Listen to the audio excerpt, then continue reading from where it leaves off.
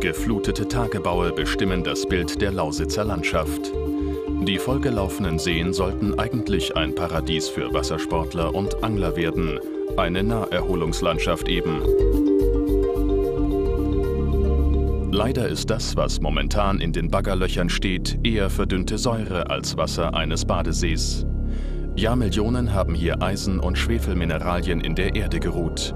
Vom Bagger ans Licht geholt, bilden sie bei der Berührung mit Wasser Säure, die fast jedes Leben unmöglich macht. Doch es naht Rettung. Biologen vom Umweltforschungszentrum Leipzig-Halle fanden jetzt eine Methode, wie sie die sauren Seen neutralisieren können. Sie haben einfach der Natur auf die Finger geschaut und den Versauerungsprozess der Seen genau untersucht. Der für die Versauerung verantwortliche Übeltäter ist das Schwefeleisenpyrit oder Markasit und die Bakterien aus dem Kippenmaterial der Gruben. Der Pyrit oxidiert beim Zusammentreffen mit dem Luftsauerstoff aus dem Abraummaterial und bildet Schwefelsäure. Das dadurch gelöste Eisen reagiert mit den Wassermolekülen im Tagebausee zu Eisenhydroxid, welches im Sediment ausfällt. Die dabei frei werdenden H-Protonen setzen den Versauerungsprozess fort, bis der See stark versauert ist. Eisen- und Sulfid-oxidierende Bakterien beschleunigen diesen Prozess ums Millionenfache. Das Ziel der Wissenschaftler des UFZ war es nun, genau diesen Prozess wieder umzudrehen. Dazu nutzten sie andere noch in den Seen vorhandene Lebewesen, Eisen- und Sulfatreduzierende Bakterien. Sie wandeln die sauren Sulfate und Eisenoxide wieder in ungefährlichen Pyrit um. Leider verweigern die Bakterien bei den extrem niedrigen pH-Werten der Seen die Arbeit.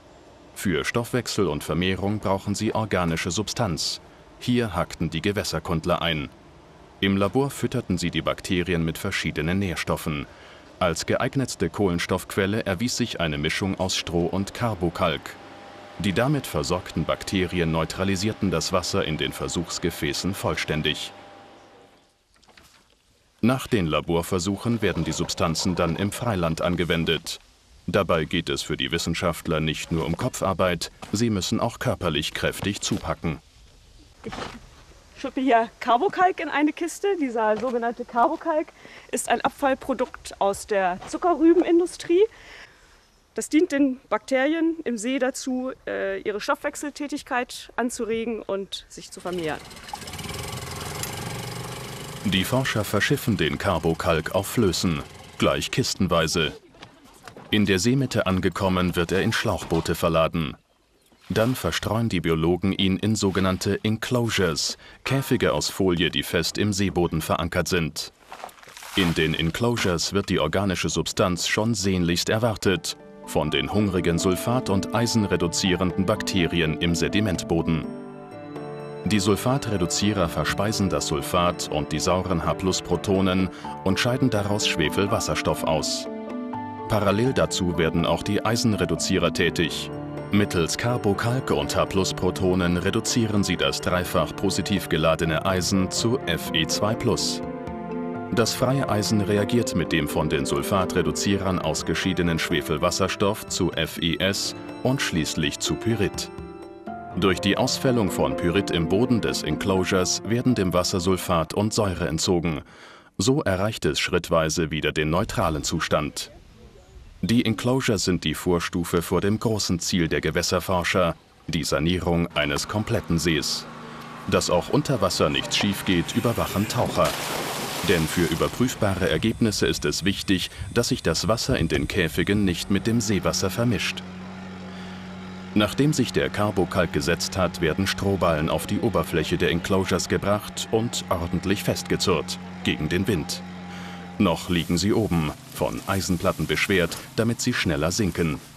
In einer Woche werden sie auf dem Seeboden angelangt sein und die Fresslust der Bakterien anregen. In den Experimentierkäfigen nebenan läuft schon seit drei Jahren ein Kleinversuch nach der gleichen Methode. Zum Vergleich stechen die Seenforscher zwei Bodensäulen aus. Das Sediment am Grund der behandelten Kleinbecken ist tiefschwarz. Hier waren die Bakterien schon aktiv. Im unbehandelten Sediment aus den Tiefen des Sees ist die Bodenschicht noch braun vom Eisen. Die Messungen der unterschiedlichen Profilsäulen bringen den Beweis.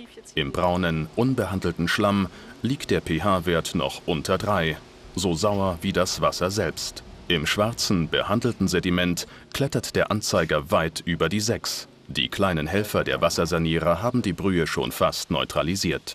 Das UFZ überwacht den Großversuch regelmäßig. Läuft alles nach Plan, soll demnächst ein gesamter See saniert werden. Ist er einmal im Gleichgewicht, wachsen auch wieder Algen, die ihn nachhaltig in diesem Zustand erhalten. Die Wissenschaftler gehen von einer Sanierungsdauer von acht Jahren für einen großen See aus.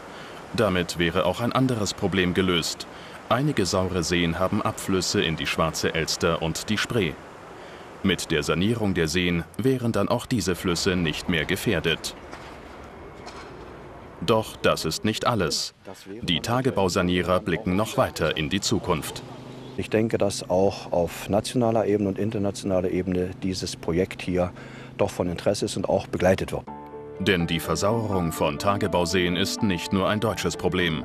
Auch die USA, Kanada und die ehemaligen Ostblockstaaten haben damit zu kämpfen. Die benachbarten Polen haben schon Interesse an dem vom UFZ entwickelten Verfahren angemeldet.